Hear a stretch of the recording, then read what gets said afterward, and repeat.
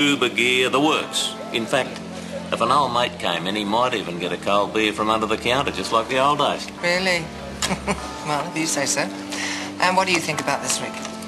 Well, Granard's the expert. I'm just along for the ride. Oh, don't be so enthusiastic. Oh, lay off him, woman. No, Alfred, this is a very big investment for you. And Rick has to make certain it's something he wants to commit to. I mean, for both your sakes. Yeah, well, just stop badgering him, eh? You take your time, mate. It is a big decision for you, and it's heading in a new direction. Yeah. Only Morag's right, though. I probably should be keener about this. It's, it's just Maddie wants to move to Perth to study. And she wants me to go with her. Now, I mean, this all reads great. I'm just not sure. Yeah, I, uh, well, right, yeah. Um, Look, don't get me wrong, Greta. I would love to do this. It sounds fantastic. It's just... I just don't really want to lose Maddie.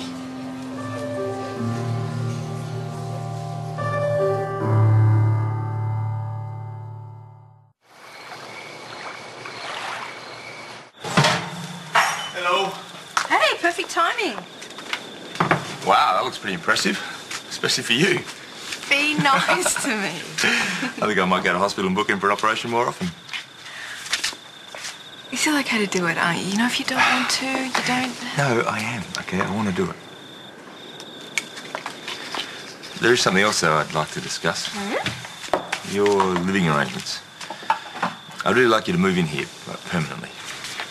Tony, I practically am living here. Exactly. So why don't we make it official? We'll tell Jack and Martha.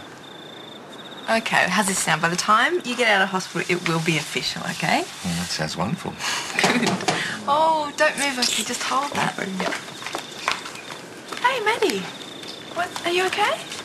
Um, I've got some good news.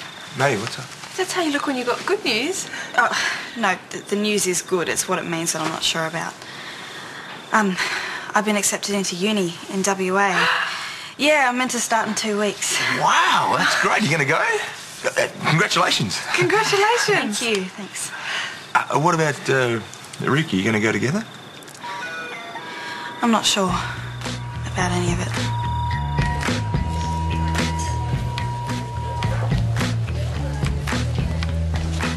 So what's going on? You've been avoiding me all night. What do you mean? We, we talked. Oh, hardly. Every time you look over, you avoid my eye contact, even though I know you've been checking out our table. You're imagining things. Dad didn't say anything to upset you, did he? Uh, no, what do you mean?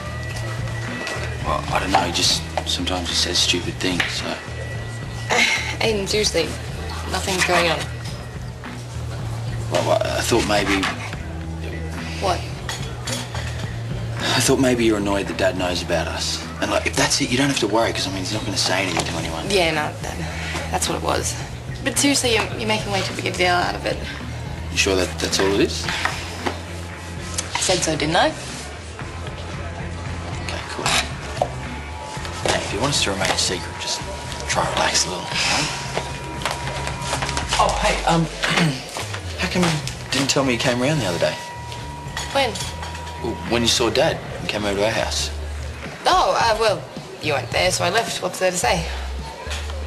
Well, nothing, I guess. Are you, you sure there's nothing wrong? Only that you're acting like a neurotic old woman. Relax.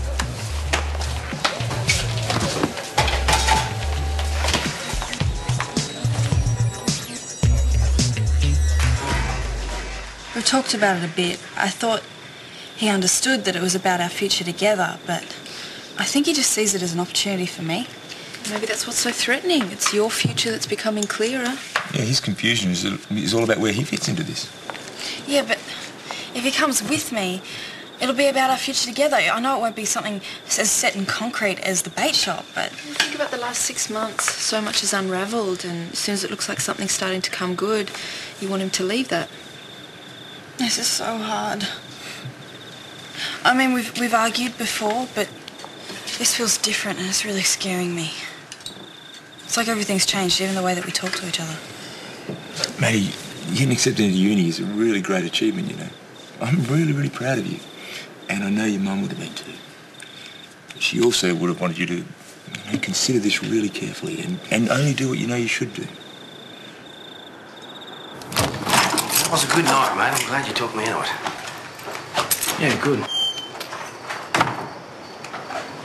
Hey, is something up? You're a bit quiet there over dinner. I don't suppose young Belle's got something to do with it, eh? Maybe, I don't, I don't know. It's just, something's up with her and I, I can't figure out what it is. Ah, you worry too much. That's your problem. When she came over here, what did you guys talk about? Nothing. Nothing. Oh, she said, you know, hey, how are you? She asked if you were there. I said no, and then she left. That was it. Why? And I just, when I saw you guys talking tonight, it seemed kind of in, intense. Ah, I think you need glasses, mate.